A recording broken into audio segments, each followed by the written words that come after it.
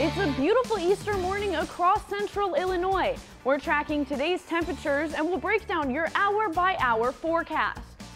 Plus, construction in Springfield. What streets will be closed for more than a year while railroad improvements continue. Good morning and happy Easter. Thanks for joining us on WAND's Weekend Wake Up. Jesse, I'm loving the sunshine, clear skies I'm seeing in the tower cam. We going to Yeah. keep having these? Yeah, absolutely gorgeous conditions today. The Easter Bunny is uh, bringing us uh, warmer temperatures, sunshine, and uh, in terms of moving forward, we're going to continue to just kind of hop on up Love as it. we go through the next uh, several days. Let's talk about today. It's a little bit of a cool start out there this morning. Notice how temperatures for some of us still in the 30s, 34 in Decatur, 38 in Champaign, 44 in Springfield. Yes, many of us in those 40s right now. So it's a little cool. Otherwise, quiet. Winds are relatively quiet at the moment. We are going to talk about those winds continuing to shift to be more southerly. And so that's one of the factors helping to warm us up as we look at this warming pattern. The sunshine, the other factor. Notice how you can see a couple of clouds otherwise, all quiet on satellite and radar. Flooring America camera, EIU's campus in Charleston. Uh, this morning, beautiful sight right there with that live look. Notice how as we go through the next coming hours, We'll continue to hop our way on up to the upper 60s. I wouldn't be surprised if a couple of us southward maybe reach 70. 70s in that forecast long term. Also 80 degree temperatures in the 7 day. We'll talk about that straight ahead. Carlee? Celebrating Easter, dozens of people in Springfield got the chance to get a free ham for Easter. Senator Doris Turner teamed up with other nonprofits to give out more than 100 hams to people in the community on Saturday. WAND's Deja Clayton has more.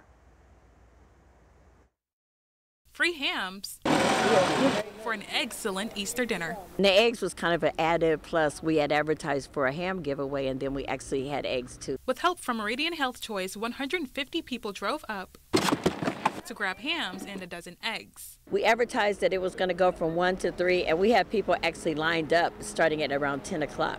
So, uh, you know, it's a it's a great opportunity for the community, and I'm excited and happy that we're able to do it. Senator Doris Turner says this isn't her first go round. I actually started doing these types of things during COVID. We did a number of giveaways, and um, and so we have try, really tried to continue with that. But it's not just Senator Turner. How you doing? Behind her are a team of volunteers to help make events like this possible. It's intergenerational. So, for instance, uh, out here today, I have a, a grandfather of, uh, who is out here with his son and his grandson. I have my son and my grandson out here, uh, you know, working. So, it's, uh, you know, that fosters that spirit of volunteerism uh, in our younger generation. So it's not only beneficial for those that are getting the food, but it also fosters that sense of volunteerism and giving back to the community. In Springfield, Deja Clayton, WAND News. No one was hurt after an early morning garage fire in Springfield yesterday. The, fire, the fire department says they were called to the 2400 block of Wilshire just after 4 o'clock yesterday. When crews arrived, they found the fire in an unattached garage had started to spread to a nearby home. Crews were able to keep it from spreading. There's no word yet on what caused that fire. Officials in Danville are investigating a house fire there as well. Crews were called to the 400 block of Sherman shortly after 6 o'clock yesterday. The two-story home was fully engulfed when crews arrived, but after a search, no one was in the home. Officials say the house was recently vacated. No word yet on the cause of the fire. A new beginning for a longtime Christian County company. WAND's Doug Wolf reports on how a fire will create a new opportunity for the company and economic development in Pana. The shovels were out and ready for groundbreaking on a new 100,000 square foot facility for Great Western Products in Pana.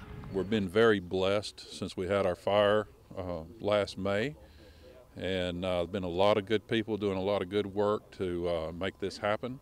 The fire was at Great Western's plant in Assumption last spring. Shortly after the fire, Great Western located in a temporary facility. Last summer, conversations were underway, which led to plans for the new plant in Pana's Industrial Park, according to Economic Development Director Kirby Kasner.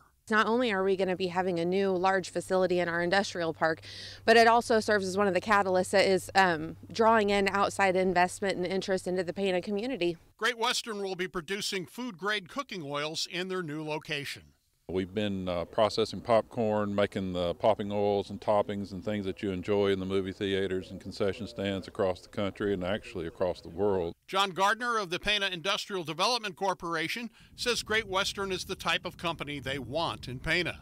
After their fire, they were shut down for three months and they maintained all of their employees and kept them on the payroll and asked them to go out and do community service group work Great Western will have 30 employees when they open the new location and could eventually hire 20 to 30 more in the future. Doug Wolf reporting WAND News. Great Western says it hopes to have its new plant operational during the first quarter of 2024. The facility will be a multi-million dollar investment by the company. Several Norfolk Southern train cars derailed in Pittsburgh yesterday. This comes after the company faced heavy scrutiny for the derailment of cars containing hazardous material in East Palestine, Ohio. In Pittsburgh, five empty cars left the track. No injuries have been reported and crews are currently working to clear the site. Earlier this year, a train derailment in Ohio forced the evacuation of part of a town.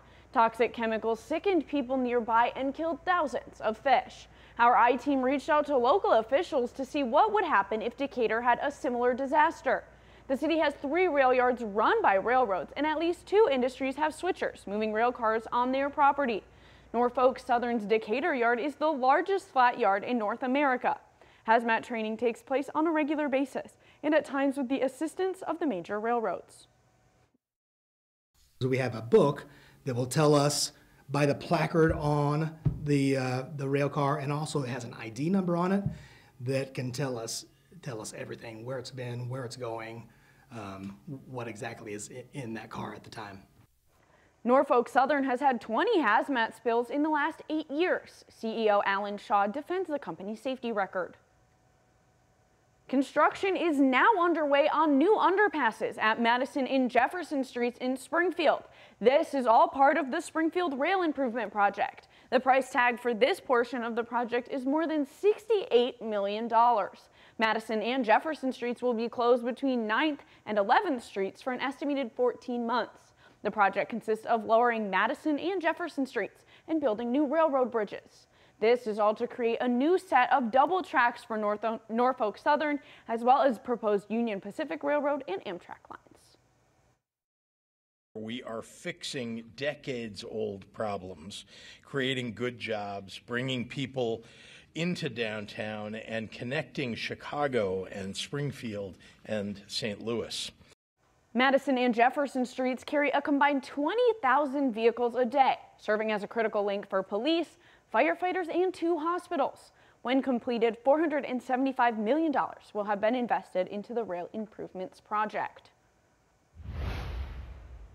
The risks of one social media app, why local universities are banning TikTok, and the cybersecurity concerns it's created. Plus, investigating artificial intelligence, why legislators are struggling to keep up with new technology as it comes out.